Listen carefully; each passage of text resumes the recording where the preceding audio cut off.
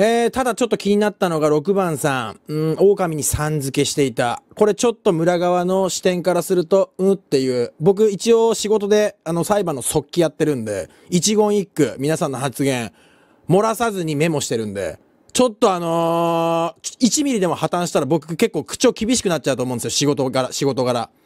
まあ僕もあのー、東京大学出てますし、なかなか厳しい発言してしまうかもしれませんが、これは一重に、とにかく俺は勝ちたい。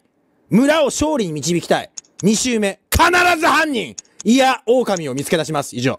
4番。完全に、あ、マウント取った。完全にマウント取った、今俺が。そうですね、まあ、まず一言言いたいのは、やべえの入ってきたなと思ってな なんでだよ。私、占い師です。おなるほど。で、ランダムで占われて、3番さん、うん。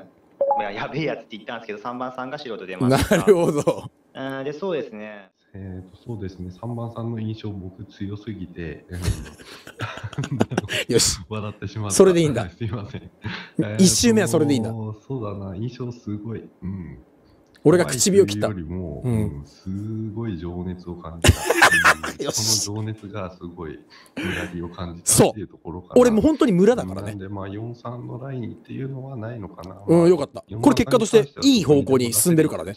俺村だから。うんだから、まあ、パッション成功。うん、まず第一パッション、成功。東大速記パッション。これど東大速記パッションどうみんなこれ。え、これ東大生なの？しかも裁判の速記やってんの、うん、東大速記パッション。